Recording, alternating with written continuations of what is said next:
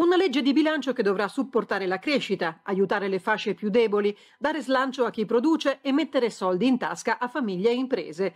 È la linea indicata dal Presidente del Consiglio Giorgia Meloni nel corso del primo Consiglio dei Ministri dopo la pausa estiva. Una riunione che ha permesso al governo un primo confronto in vista della manovra che sarà presentata nei prossimi giorni. Meloni ha ricordato come la congiuntura si stia facendo più difficile, a partire dal rallentamento dell'economia tedesca che si ripercuote in tutta Europa e quindi le risorse disponibili devono essere usate con la massima attenzione. Ogni Ministero dovrà verificare nel dettaglio le risorse attualmente spese e le misure attualmente finanziate, con l'obiettivo di ridurre gli sprechi e reperire ulteriori risorse. La legge di bilancio dovrebbe contenere misure per circa 30 miliardi, tenendo conto dei vincoli europei, che potrebbero anche cambiare in caso di riforma del patto di stabilità.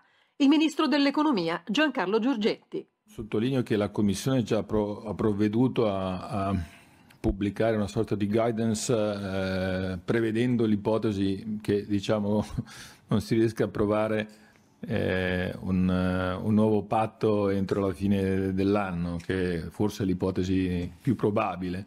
Eh, noi cercheremo di rispettare gli obiettivi con un principio di responsabilità, tenendo conto eh, delle circostanze e dei fattori rilevanti, come li chiamano in Europa, che si sono verificati, che si stanno verificando nel 2023 e di cui daremo puntualmente conto in occasione della NADEF che presenteremo in Parlamento a settembre.